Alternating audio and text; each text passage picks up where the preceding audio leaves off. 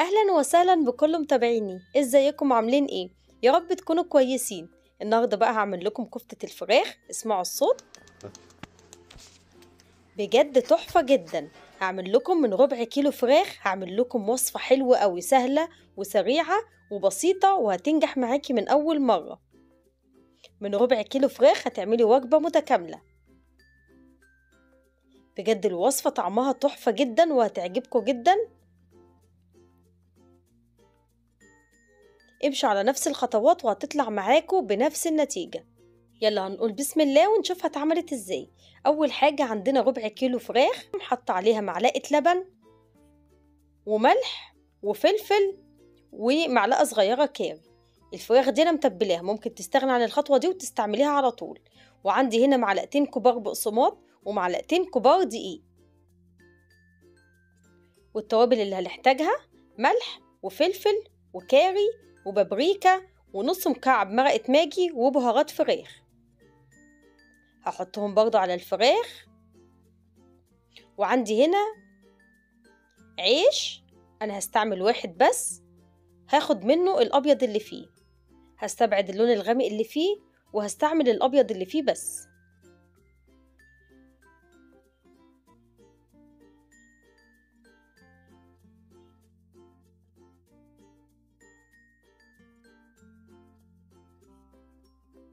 هخلطهم بقى كويس جدا لغاية ما تتحن معايا ناعمة جدا.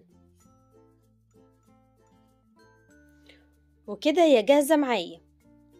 هاجي بقى للحشو عندي هنا بطاطستين حجمهم وسط سلقتهم وبعدين هرستهم كده ناعم جدا. هحط عليهم التوابل بقى ملح وفلفل وبابريكا وزعتر وتوم بودر وبصل بودر. هخلطهم بقى على البطاطس كويس جدا وكده هي جاهزة معايا. هاجي بقى هنا الفراخ اللي أنا عملتها والبطاطس اللي هحشي بيها. هاخد بقى كده معلقة كبيرة من الفراخ وهفردها كويس جدا. أنا دهنت الاسترتش اللي أنا هفرد عليه الفراخ بالزيت. هحشيها بقى بحشوة البطاطس اللي أنا عملتها معاكم.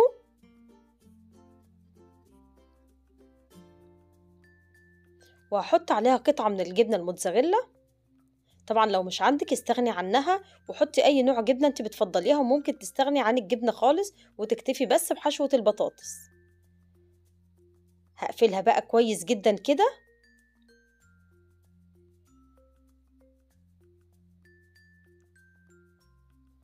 وهقفلها. بصي شكلها هي كده جاهزة معايا. هعمل برضو واحدة كمان.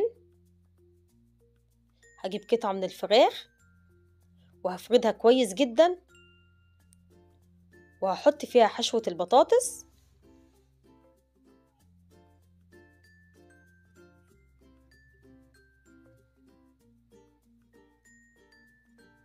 وحطيت عليها برضو الجبنة الموتزاريلا وهقفلها كويس جدا.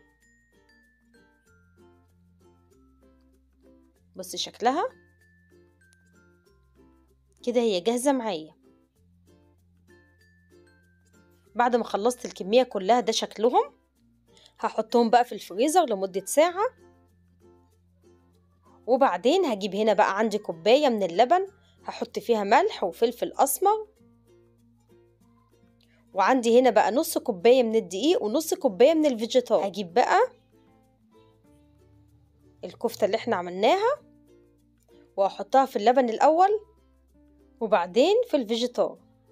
وهغطيها كويس جدا بقى وكده هي جاهزة معايا. هعمل كل الكمية بنفس الطريقة.